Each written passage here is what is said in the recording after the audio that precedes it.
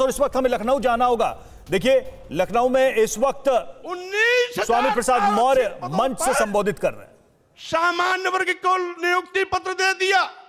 योगी जी क्या अनुसूचित जात के लोग हिंदू नहीं है क्या?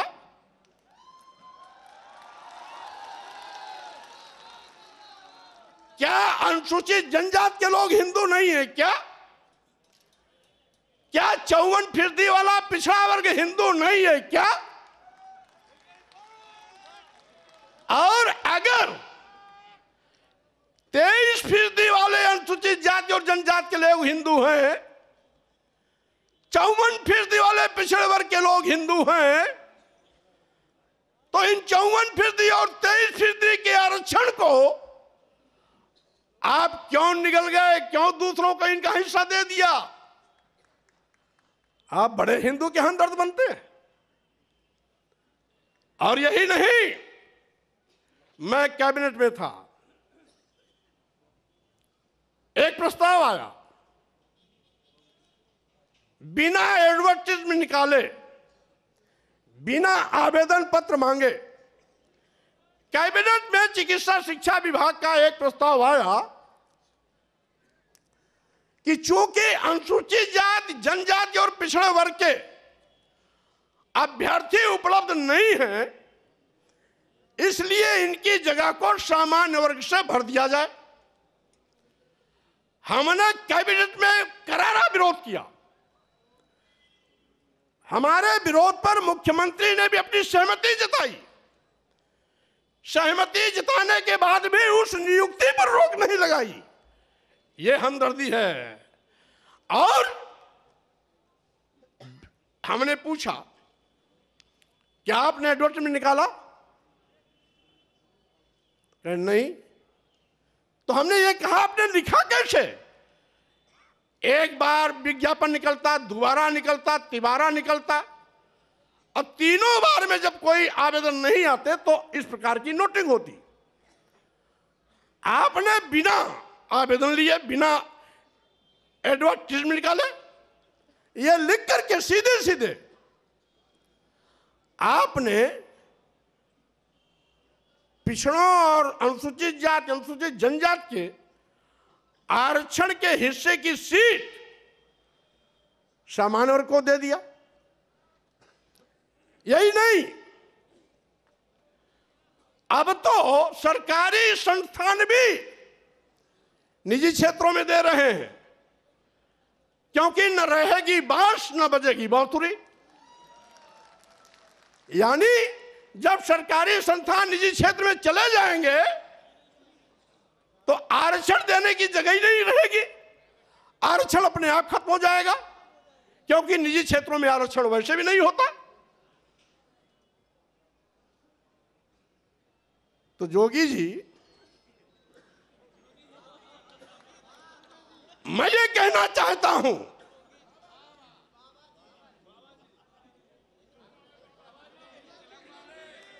जोगी जी या बाबा जी कोई भी हो, मैं ये कहना चाहता हूँ, मुख्यमंत्री की कुर्सी पर बैठ करके पाप करोगे, और साथ ही साथ दुहाई देगो हिंदू की। क्या आपकी नज़र में कुछ बड़ी जात के लोग हिंदू हैं क्या? अनुसूचित जात के नहीं है अनुसूचित जनजात के नहीं है, आदिवासी नहीं है, पिछड़े वर्ग के नहीं है तो वही 10-5 परसेंट अगर आपके हिंदू हैं तो तो आपका खटिया खड़ी बिस्तरा गोल होना तय है। क्योंकि बंटवारे की लाइन आपने खींच दिया है। अब तो अनुसूचित जात जनजाति आदिवासी, दलित, गरीब, पिछड़े, मजलूम, सब एक साथ खड़े होंगे। और आठ दस परसेंट जो आपके साथ, जिसको आप हिंदू मानते हो बड़ी जाति, वो आपके साथ खड़ी होगी। और उसमें भी हम बंटवारा करेंगे, क्योंकि उन बड़ी जातियों में भी कुछ समाजवादी चिंतन के हैं और कुछ अंबेडकरवादी चिंतन के हैं। इसलिए साथियों, मैंने कहा, इसीलिए मैंने कहा, आज का ये जो कार्यक्रम है, अभी तक तो ये समाजवादी विचारकों का जमावड़ा था। अब ये समाजवादी इसके साथ साथ लोहियावादी के साथ साथ अंबेडकरवादी विचारधारा का भी जमावड़ा का संगम हो गया। और इसीलिए हम ये भी कहना चाहते बगल में उत्तराखंड में तीन बार मुख्यमंत्री बदल सकते हैं। आप पाँच साल इंतज़ार क्यों किए, उसी को बता रहा हूँ। यहाँ पर इतना जुल्म जाति अत्याचार अन्याय हो रहा था लखीमपुर की घटना हाथरस की घटना गोरखपुर की घटना के साथ साथ दो दर्जन ऐसी घटनाएँ हैं जहाँ एफ़ आई आर लिखने में आपने हिला, हिलावाली किया। और साथ ही साथ जहाँ गोरखपुर डेढ़ महीने के अंदर गगहा थाने में सात हत्या हुई पांचवी हत्या हुई तो मैं स्वयं मौके पर पहुँचा। मैंने बल्कि ये कहा भी कि हो सकता है उत्तर प्रदेश में कानून का राज हो, लेकिन गगहा और गोरखपुर में गुंडा राज है। मंत्री रहते मैंने कहा था। यद्यपि कुछ टीवी वालों ने चलाया एक दो बार, ऊपर से रोक दिया गया होगा। लेकिन उसके बावजूद भी थानेदार नहीं हटाया गया और सीओ नहीं हटाया। क्यों? क्योंकि वो जोगी बाबा का, जोगी बाबा की बिरादरी वाला था। और मेरे लौटने के बाद, मेरे लौटने के बाद जब दो हत्या और हो गई, यानी सात हत्या पूरा हो गया, तब जाकर के यशो हटाया गया और सीओ हटाया गया। गगहा, गोरखपुर। गगहा बाज़ार भी है गगहा थाना भी है, गोरखपुर से 25-30 किलोमीटर आजमगढ़ रोड पर है। यानी दो मौर्य मारे गए थे, दो ब्राह्मण मारे गए थे, एक, दो बनिया मारे गए थे और एक अज्ञात महिला की लाश मिली थी। ये सात हत्याएँ दो मौर्य, दो ब्राह्मण और दो बनिया। और एक अज्ञात महिला की लाश, ये एक महीना पाँच छह दिन के अंदर की सारी घटनाएँ और कहते हैं कानून राज है। और साथ ही साथ मैंने सोचा था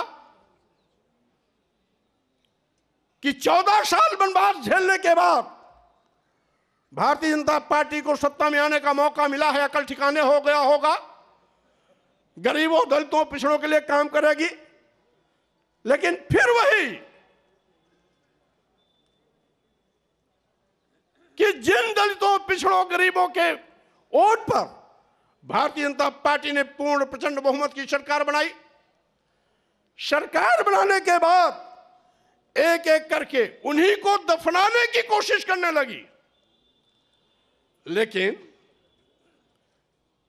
भारतीय जनता पार्टी के नेताओं से मैं कह देना चाहता हूँ, चौदह जनवरी का यह जो कार्यक्रम हो रहा है, आज के बाद पूरे उत्तर प्रदेश में एक ऐसा जनसैलाब उमड़ेगा और चलेगा, एक ऐसी आंधी चलेगी एक ऐसी सुनामी चलेगी जिसमें भारतीय जनता पार्टी के पर खचे उड़ जाएँगे। कहीं भी ठिकाना नहीं मिलेगा।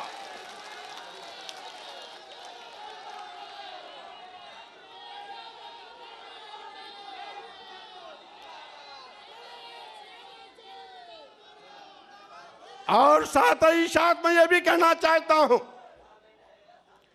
साथ ही साथ मैं ये भी कहना चाहता हूँ स्वामी प्रसाद मौर्य ने पार्टी भले न बनाई हो, लेकिन किसी भी पार्टी से हैसियत कम नहीं रखते हैं। उनके पास जनधार की कमी नहीं है।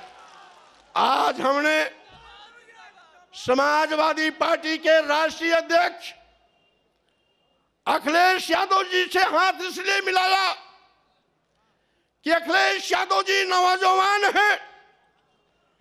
पढ़े लिखे हैं, नई ऊर्जा है। मैं प्रदेश के लाखों, लाख, करोड़ लोगों का हजूम आपके नेतृत्व के साथ खड़ा कर भारतीय जनता पार्टी को नस्ताबूद करने का काम करूँगा।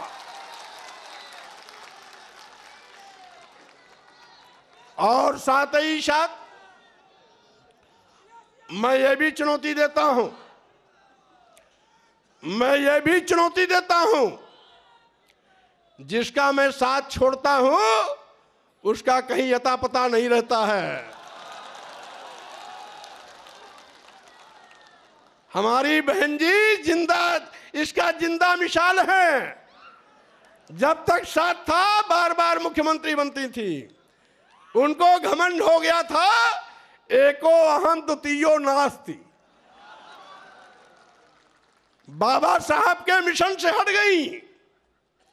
मानवर कांशीराम को भूल गई। मानवर कांशीराम के सामाजिक परिवर्तन आंदोलन को डुबोने का काम करने लगी। मानवर कांशीराम जी के आँख मूंदते ही मानवर कांशीराम जी का नारा बदल दिया था।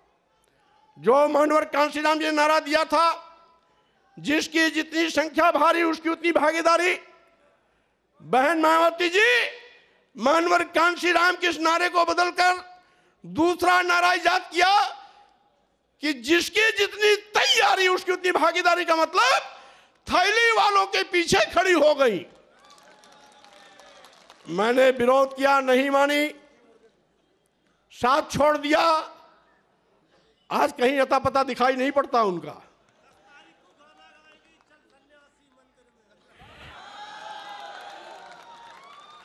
और मैं कहना चाहता हूँ, Bharatiya Janata party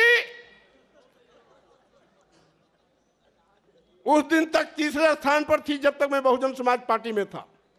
Bahujan Samaj party number एक पर थी उस दिन। भारतीय जनता पार्टी तीसरे पर थी। भारतीय जनता पार्टी तीसरे पर थी और जैसे ही बहुजन समाज पार्टी छोड़ करके भारतीय जनता पार्टी के साथ हमारा भारतीय जनता पार्टी आकाश चढ़ गई। अब भारतीय जनता पार्टी के लोगों को मैं फिर कहना चाहता हूँ, आपके बुरे दिन आ गए। और साथ ही साथ, अब मैंने आपका साथ छोड़ा। मेरे बाद साथ छोड़ने वालों का एक लंबा कतार चल रहा है। आज के बाद भी ये इस्तीफा देने का सिलसिला चलता रहेगा। और साथ ही साथ 2022 के विधानसभा चुनाव में जब 10 तारीख को परिणाम आएगा तो 2017 के पहले जो भारतीय जनता पार्टी का आंकड़ा था बयालीस विधायक और पैंतालीस विधायक का मैं दावे के साथ कहना चाहता हूँ, इन नौजवानों की कुबत के बिना पर आपको फिर पुराने आंकड़े दहाई पर लाके खड़ा करने का काम करूँगा।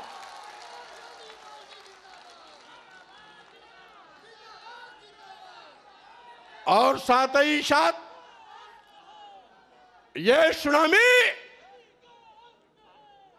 भाजपा को उखाड़ करके सीधे सीधे हिंद महासागर में ले जाकर के डुबोने का काम करेगी। आज इस अवसर पर मैं ये भी कहना चाहता हूँ, जिसके पीछे लाखों का हजूम हो, आज कोरोना महामारी के चलते निर्वाचन आयोग ने निर्वाचन आयोग का भी शिष्टाचार पालन करने का निर्देश दिया है। और साथ ही साथ कोरोना प्रोटोकॉल को भी पालन करने का निर्देश दिया है। इसीलिए आज केवल प्रमुख लोगों को बुलाया गया, लेकिन आपका विक्रमाजित मार्ग पूरा कालिदास मार्ग पूरा। कालिदास विक्रमाजित को जोड़ने वाला मार्ग पूरा। लामा टेंडियर का पूरा मैदान। इन कार्यकर्ताओं से भरा पड़ा हुआ है, पटा पड़ा हुआ है। और साथ ही साथ जैसा कि हमारे भाई डॉक्टर धर्म ने कहा, अगर कोरोना महामारी नहीं होता, निर्वाचन आयोग का आचार संहिता नहीं होता तो आज मौर्य को आप सुन रहे थे और स्वामी प्रसाद मौर्य ने बीजेपी से लेकर बहुजन समाजवादी पार्टी पर निशाना साधा। एक बार फिर हम आपको उनकी प्रमुख बातें सुनवाते हैं कैसे आज यहाँ पर इस मंच से उन्होंने कटाक्ष किया जब समाजवादी पार्टी का दामन थामा? चौदह जनवरी का यह जो कार्यक्रम हो रहा है